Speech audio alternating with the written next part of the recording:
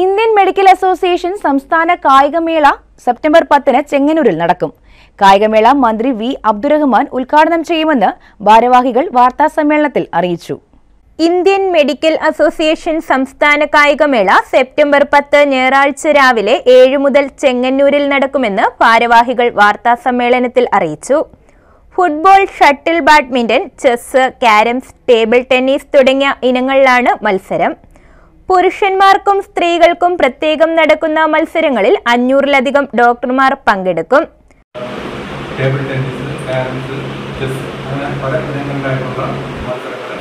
എല്ലാ ജില്ലകളിൽ നിന്നുള്ള പ്രതിനിധികൾ ഉൾപ്പെടെ എല്ലാ ജില്ലകളിൽ നിന്നും ടീമുകൾ ഈ മത്സരത്തിൽ പങ്കെടുക്കുന്നുണ്ട്. ജില്ലാ വൈദ്യുതായിട്ടാണ് പങ്കെടുക്കുന്നത്.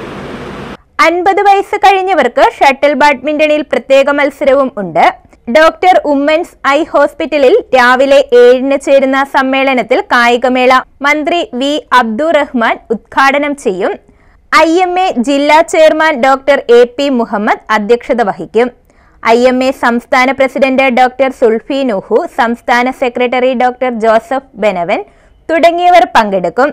ഫുട്ബോൾ മത്സരം ചെങ്ങന്നൂർ എയ്റ്റീൻ യാർഡ്സ് ടർഫിൽ മുൻ Indian football goalie K T Chacko kick off ചെയ്യും.